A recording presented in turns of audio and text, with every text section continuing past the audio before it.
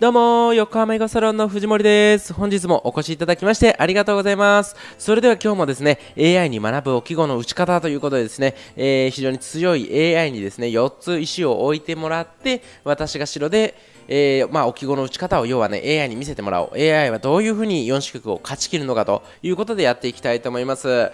やはりね、あのー、皆さんね、特に9の方とかっていうのは石を置く機会ね、非常に多いと思いますから、で、置き石でね、勝てるとやっぱりどんどん石が減ってて互い戦になるのがねやっぱ嬉しいと思いますのでそういう意味でもね置き石ってやっぱそれで独自の打ち方っていうのもちょっとありますから、えー、その辺をですねぜひお手本にしてもらえれば嬉しいなと思います。はいそれでは早速やっていきたいと思います。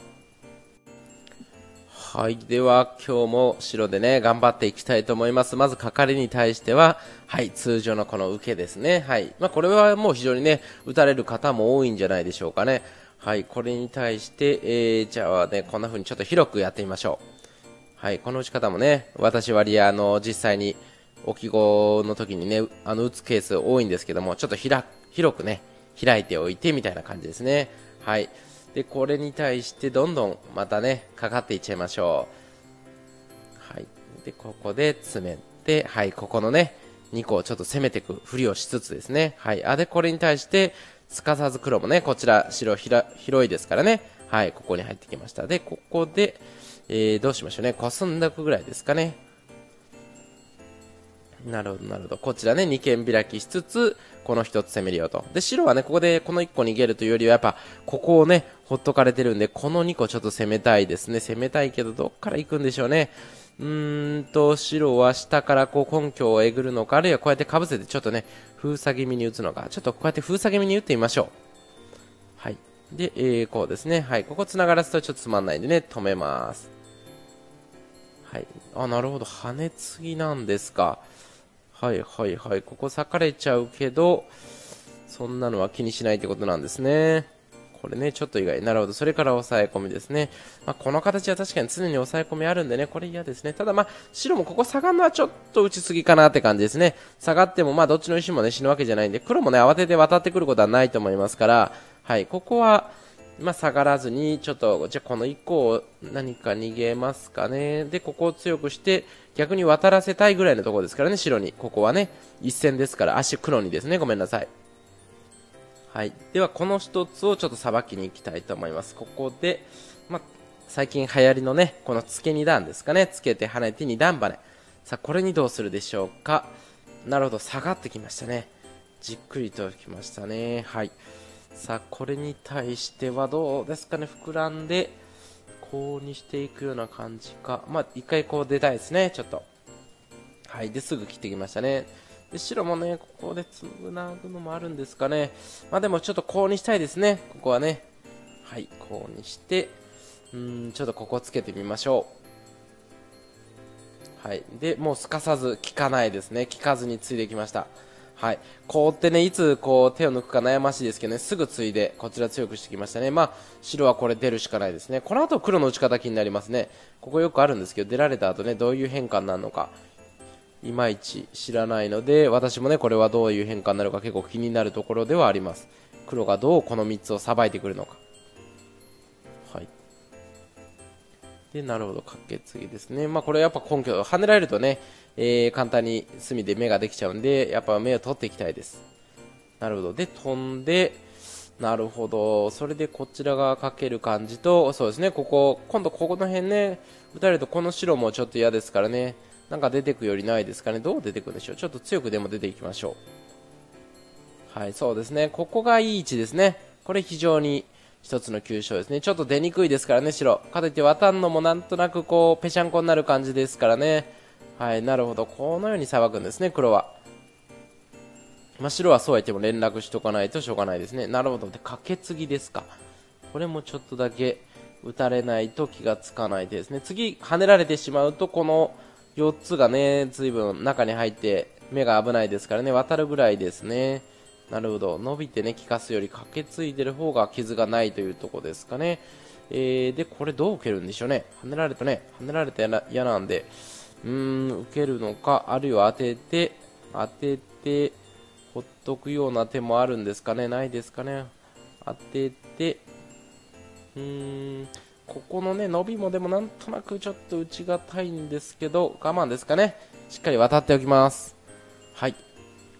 で桂馬ですね、うん、でこれに対しては、えー、どうですかね。今度まだなかなか確かにこうなるとね黒ふわふわっと出ましたんでそんなに攻められない感じですね。で白はここも薄いんですよね。ここの関係もかなり切られると薄いのでこの石をどう守るかっていうのと、まあ、あとここもねちょっともう続けて頑張って打ちたいところではありますね。どうなんでしょうね。うーんちょっとわからないですね。ここはね難しいんですけどこれぐらいでしっかり守っておきます。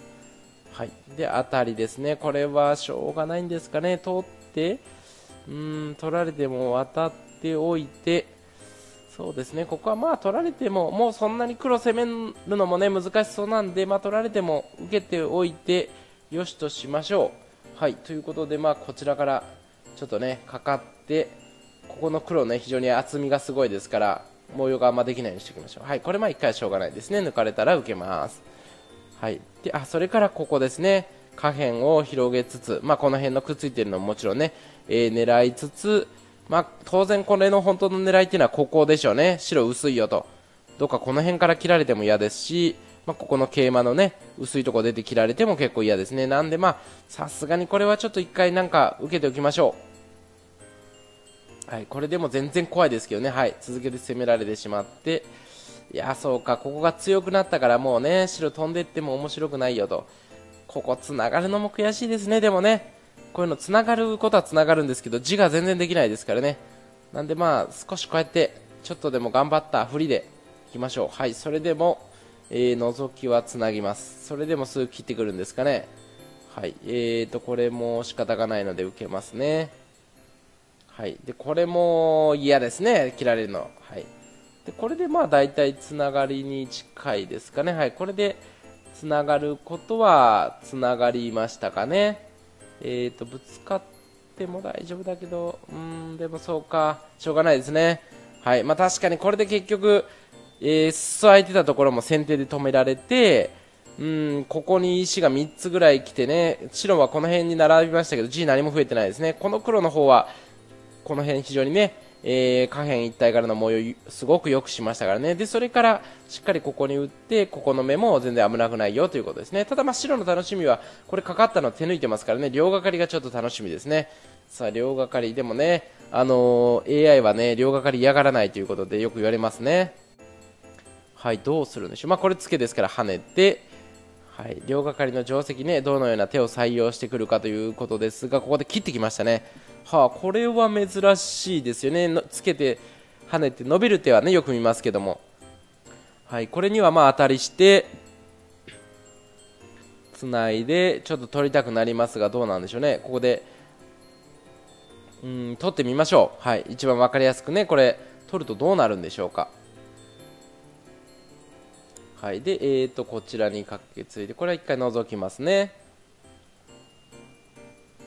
はいはい。でここ効かしてこないですねまだね。まあここも攻められてしまうの嫌なんでね。まあ2律3石ということで開いておきましょう。ですぐ打ち込みですね。はい。これすぐ打ち込み多いですね。でこうやりましてはい。それからこれが手筋ですね。はい。この打ち込みからの下がりはね、えー、以前私の動画でもね、ちょっと取り上げたことありますんでね、概要欄にリンクも貼っておきますね。もうちょっと詳しくね、ここの変化知りたいよって方は、ぜひそちらもご覧ください。えー、これはですね、まあしょうがないですね、受けるぐらいで。はい。で、渡られまして、うーん、そうかそうか、まあこの一段をまだまだ狙ってきてますね。白としてはこのように逃げつつ、下辺の黒模様を消したいので、こんな感じにしましょう。はい、あ、すかさず、すかさず切ってくるのかな？何なんでしょうね、これ。そうですか、そうですか、すかさず、これでも、あの離れすぎと言われましたね、まあ、これはつながりたいんでねこのようにいきましょう。つながらせてください。でこれも出ますねどんどん。さあどうなんでしょうねこれね。なんとなく裂かれているように見えるんですがなるほどここで今度ね出て切る手があるんでこれ下がりが先手ですね。何か受けなきゃいけないですね、まあ、ここダメ詰めときましょう。なるほど。それから切っておいてね。はい、これ一見ここ裂かれたようなんですけど結局こう出てもねあのー、まあ、ごめんなさい、今手抜きましたけど、1回ね、まあ、こっち先手なんで、結局つながってここもつながってるんでね。なるほど。結果下辺も大きいし裂かれてないよっていうことですね、まあ、これは先手ですね。次曲がられちゃうと取られちゃうんで受けます。なるほどね。それで渡られてそうか。これでうまかったですね。今の手は。なるほどなるほど。非常にいい手ですね。さあさあいよいよ目なしになってしまいましたんで逃げます。はい。これはどんどん逃げます。はい。で、えー、黒はもう同説ですね。これが逃げてる間にこういう飛びが2個来てもう下辺が大きくなればそれでごちそうさまですよということですね。はい白はね打てば生きるぐらいはね全然あるんですけども白は打っても打っても右ができないですね。陣地が全然できない。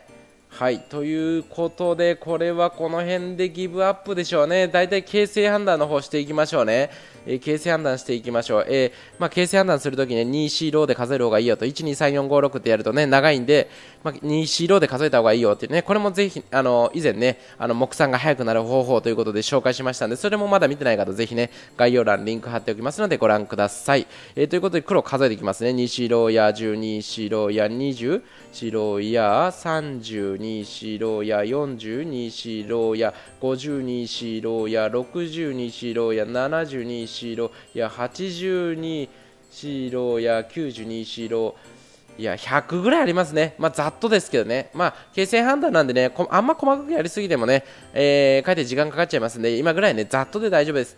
で100、はい、で白地はねえーと、ここがまあ一番大きいですね上辺が一番大きいんですが2シーローや12シーローや22シーローや32シーローや40ぐらいしかないですね40対100ですから、まあ、60目ぐらいは黒のリードということになりました。はい。この後はね、はい、ということでごめんなさい。ここで私ね、投了させていただくんですけど、この後は本当に、その攻めっていうものが何かね、よくわかりますね。攻めながら、相手の石の目がないよっていうのを脅かしながら、この後で言うと、ここの下辺の陣地をうまく作っていくと。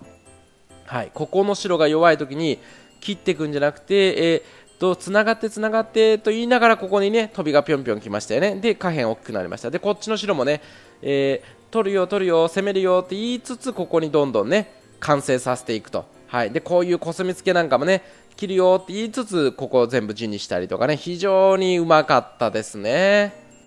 はい、こんな4子曲が打てたらね、気持ちいいんですけども、はい。えー、あとまあね、両がかりから、両がかりはこっちですね、両がかりからのね、ちょっと面白い手段で、まあこちらの白がね、もう地に、強いんで、地にさせてもいいよっていう手段でね、えー、このような打ち方もあるんだなと、私も初めて見ましたけども、はい。あとここね、主張は、あの、鋼材からの、えー、突き抜きをされた時についついここのさばき方ね難しいんですけど伸びからね結構うまくこうさばかれたなという印象なんで、まあ、こうで得してますからここはねふわふわっと逃げれればいいよということで、まあ、非常にこの辺の打ち方も参考になったかなというふうに思います。はいということで、まあ、ぜひね、あのー、こういったね AI の打ち方非常に参考になる部分ねありますから、えー、うまくね活用していっていただければいいかなと思います。はいということで本日も皆様ご視聴いただきましてありがとうございます。毎日ですね実践に使えるテクニックいろいろねご紹介しております。であとは AI とね打ったりとか、えー、これからねあのプロの先生とかともねいろいろ打ちながら、えー、面白い動画もどんどん作っていきたいなと思っておりますのでぜひともチャンネル登録の方よろしくお願いいたします。どうもありがとうございました。